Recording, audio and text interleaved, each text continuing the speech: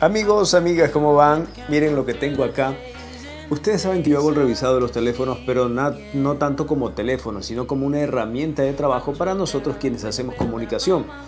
Y hoy en día la comunicación audiovisual y el teléfono es una herramienta para poder comunicar independientemente de lo que hagas. Desde que cocinas comida, desde que sales de turismo, desde que te tomas la selfie en la casa, con la familia, lo que sea.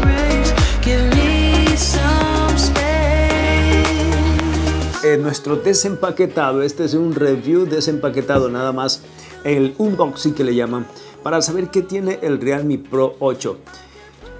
Eh, de forma general, pues tiene una cámara prometedora de 108 megapíxeles, que eso ya lo veremos a detalle cuando estaremos revisando netamente el equipo es súper fino. Bueno, ya con la con la, el cobertor pues ya, ya tiene su, su pesito.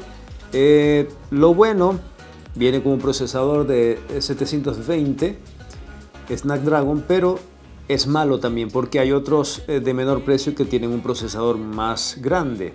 Pero hay una cosa y otra cosa, ya, ya veremos en el camino. Un cargador rápido que ya lo verán, ese cargador no es portable para nada, pero que carga 50 vatios, carga súper rápido. Tiene una pantalla Super AMOLED de 6.4 que los videos generalmente que uno hace, este video que tú estás viendo, si lo estás viendo en un teléfono Realme o, o Poco o Xiaomi, bueno, o otros teléfonos, mi video queda aquí y la pantalla todavía sobra. Entonces, ahí estamos. La batería es de 4500 miliamperios. Si bien hay teléfonos que tienen más batería, pero este de aquí se va bien. El de aquí lo cargué en horas de la mañana y de ahí ni más. Tiene 59% de batería. Pero no lo he utilizado al 100%. He reproducido videos, andado por redes sociales, publicado una que otra información pero no es que he estado grabando constantemente videos. Esta es la versión de 8 GB de RAM, 128 de memoria interna. Cartoncito, nada más. Viene aquí el estuche. Aquí ha de venir el cassette de seguro. Bueno, ya abrí el mío, pero ya no me acuerdo. Entonces aquí viene el cassette con esta espuma que nos permite cubrir, espuma goma, que nos permite cubrir nuestro teléfono y lógicamente los, las características técnicas a través de un papelito. Viene el pinchito para cambiar. Eh, hacemos notar que es doble chip, es doble chip y también viene para una micro SD. Entonces estamos bien. Vamos a darle vuelta.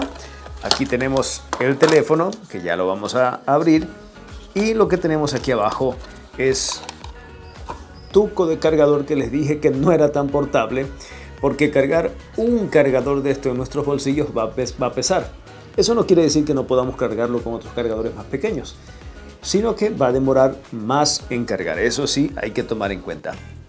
¿Por qué no he utilizado mi cargador eh, del teléfono acá? Porque, miren, estamos en América Latina, por lo menos acá en Ecuador, necesitamos comprar un adaptador para poder enchufar esto. Y aquí está el cablecito. ¿Y qué más hay? No hay. No hay auriculares, no hay nada más. ¿Qué cosas? No hay auriculares. Bueno. Entonces, en términos de unboxing, es todo lo que viene. Ya vamos a abrir el teléfono. El aparatito que viene con esta protección, esta fundita. Independientemente de la tecnología, yo soy muy amante de la tecnología. De micrófonos, consolas, cualquier cosa electrónica me encanta. Y aquí tenemos el juguetito. ¿Qué viene en el teléfono? Es botón de encendido y apagado, volumen hacia arriba, hacia abajo. En la parte de arriba micrófono, en la parte de frente cámara, en la parte de abajo otro micrófono, eh, altavoz y jack para auriculares y también viene eh, tipo C. Ahora no sé si el tipo C funciona de muchas otras formas, como también colocar micrófono por esa entrada. Por la parte de atrás viene cuatro cámaras ¿Serán cuatro cámaras? Ya la estaremos revisando también. Viene un flash dual, por lo que veo, o a través, o es uno, que me da una imagen eh, blanca y amarilla, pero eso ya lo revisaremos más adelante porque eso todavía no nos compete. ¿Qué más? Eh, viene el nombre muy grande en la parte de atrás. Yo por mi lado voy a hacer un adhesivo y le voy a colocar aquí porque no me gusta tener un nombre así que esté identificando otra cosa. Ahora que si Realme me paga a mí, pues yo le hago publicidad, no pasa nada, ¿no? Yo tenía el P9, eh, no el Pro ni el Lite, sino que el P9, que hace mucho tiempo me costó ya como 4 años 700 dólares. Imagínate tus 750 dólares en un teléfono. Este de acá en Ecuador está en 350. Para que tengan una idea de cuál es el tamaño que tiene, pues ahí lo están viendo. Y para que vean también el tema de, la, de qué tan fino es. Tomando en cuenta de que este no tiene mucha batería, no sé si 2000, 3000, este de acá ya hemos hablado que tiene una batería de 4500, si no me equivoco, por favor, a ver, a verla. Sí, 4500, entonces equivale a que tenga que engordarse un poquito más, pero en términos pesos sí pesa un poquito más que el P9, pero en temas de construcción se nota que es plástico. Este acá es lata, se me ha caído muchas veces pero ya no aguanta más golpes, entonces me tocó renovar. Luego tendremos otro video, déjame tu comentario en la parte de abajo, si algo se me escapó nombrar, pues estaremos hablándonos.